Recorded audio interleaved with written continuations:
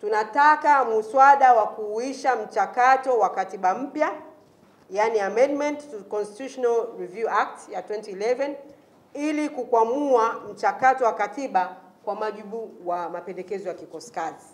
kwamba hapa kikosi kazi kilipendekeza kwamba mchakato wa katiba uanze, lakini hatujasikia kwamba sasa ile sheria ya mchakato wa katiba kwamba inapitiwa. Sisi tunataka ianze, tuone kwamba imewekewa ratiba, tujue itaanza lini kupitiwa na mapitio yake na yale mambo ambayo yatahusika kwenye huo mchakato yawepo.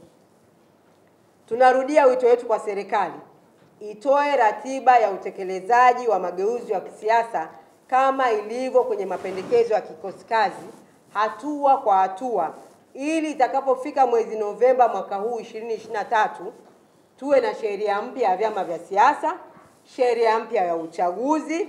na kwamba marekebisho ya sheria ya mchakato wa katiba yawe yamefanyika na kuundwa kwa kamati ya wataalamu watakaowianisha rasimu ya Warioba na katiba pendekeza ili kupata rasimu mpya ambayo itapigiwa kura na wananchi. Lakini pia tunaitaka ofisi ya waziri mkuu ieleze ni lini mswada ya sheria ya vyama vingi vya siasa na mswada wa sheria ya uchaguzi utafikishwa bungeni.